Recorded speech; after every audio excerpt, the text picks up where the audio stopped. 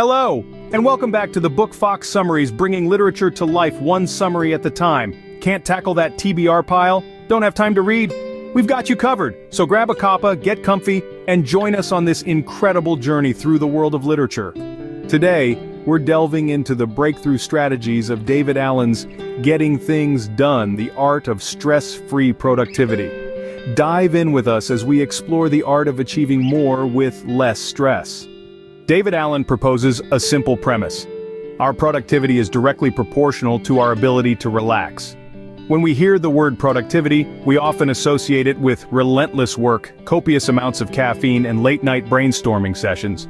But David Allen, a veteran coach and management consultant, presents a rather counterintuitive approach. He believes that our ability to be truly productive is intertwined with our capacity to relax. Imagine a serene lake, its surface perfectly smooth and still. This calmness allows it to clearly reflect the world around it. Similarly, when our minds are calm and relaxed, they can reflect, process, and organize thoughts more effectively. This clarity of mind is the foundation of Allen's productivity principle. Allen's concept of productivity is not about doing more. It's about doing what matters most, efficiently and effectively. It's about making the best use of our mental and physical energy to achieve our goals. It is not merely about ticking off tasks on a to-do list, it's about aligning our daily actions with our long-term vision. To achieve this, we need to have organized thoughts. But how do we organize our thoughts in this fast-paced world brimming with information overload? Allen suggests that we need to get things out of our mind and capture them in a trusted system. This could be a notebook, a digital tool, or anything that works for you. The goal is to clear your mind from the constant reminders of tasks and ideas, allowing it to focus on the task at hand. The state of relaxation is not about inactivity, it's about being in a state of controlled attention and focus. When we are relaxed, we are in a better position to handle the demands of our work, deal with interruptions, and make decisions. It's about having a clear mind that can effectively navigate the labyrinth of productivity. In the journey of productivity, remember that your mind is a thinking tool, not a storage device. It's designed to generate and play with ideas, not to hold them. In Allen's words, your mind is for having ideas, not holding them. One of the key strategies Allen suggests is the do it, delegate it, defer it, drop it rule. This rule is a cornerstone of Allen's philosophy towards achieving stress-free productivity, and it's a simple yet powerful tool to clear your mind and your inbox. Let's break it down. The first D is for do it. If a task takes less than two minutes to complete, Allen suggests you should do it immediately. Whether it's replying to an email, making a quick call, or jotting down an idea, these small tasks can quickly pile up and become overwhelming. By dealing with them instantly, you eliminate the stress of a mounting to-do list. Next up is delegate it. If a task can be completed by someone else, hand it over.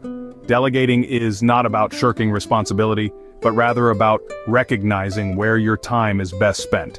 Whether you're a manager, a parent, or a team member, understanding what tasks to delegate can free up your time for more important things. The third D stands for defer it. If a task isn't urgent, or if it requires more than two minutes to complete, defer it. Schedule a time to tackle it later. This allows you to focus on what's important now, without forgetting about what needs to be done in the future. The final D is for drop it. If a task isn't necessary, or if it doesn't contribute towards your goals or well-being, consider dropping it entirely. Remember, it's okay to say no to tasks that don't serve you. By applying the rule of do it, delegate it, defer it, drop it, you're not only clearing your inbox but also your mind.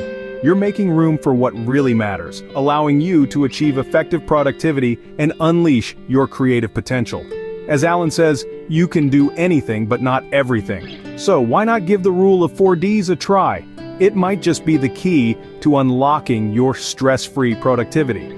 Allen doesn't shy away from acknowledging the feelings of confusion, anxiety, and being overwhelmed that often accompany productivity.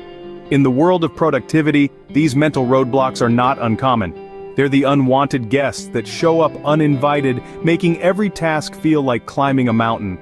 But the beauty of Allen's philosophy lies in not just recognizing these obstacles, but also providing practical advice on how to overcome them. Allen suggests that the key to overcoming confusion is clarity. When we're clear about what we want and what steps we need to take to get there, confusion dissipates. It's like turning on a flashlight in a dark room. Suddenly, everything becomes visible, and the path forward becomes clear. As for anxiety, Allen argues that it often stems from feeling overwhelmed with too many tasks. His solution? Break them down. Instead of looking at a project as a mammoth task, he advises us to dissect it into manageable action steps. Each small step leads to another, and before you know it, you've scaled the mountain. Staying focused in changing situations, according to Allen, is all about reassessing and realigning your goals. It's about being flexible and adaptable, ready to pivot when necessary. It's not about rigidly sticking to a plan, but about adjusting the sails to move in the direction of your goals, no matter how the wind blows. And what about that overwhelming feeling of having too much to do? Allen's advice is to feel fine about what you're not doing. It's about understanding that you can't do everything at once, and accepting that some things will have to wait. It's about prioritizing and focusing on what's most important now.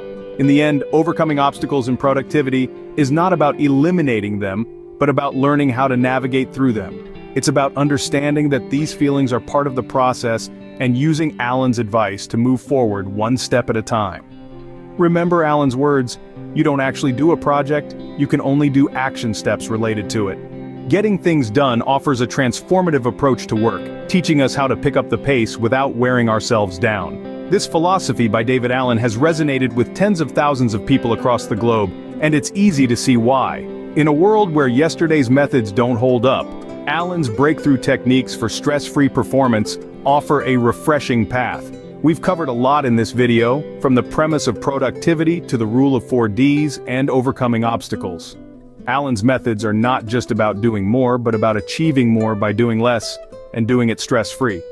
His rule of do it, delegate it, defer it, drop it is a game changer, turning overflowing inboxes into organized task lists. His strategies help us reassess our goals in changing situations, plan and unstuck projects, and overcome feelings of confusion, anxiety, and being overwhelmed. But perhaps most importantly, Allen teaches us how to feel fine about what we're not doing. Because productivity isn't about doing everything, it's about doing the right things at the right time in the right way.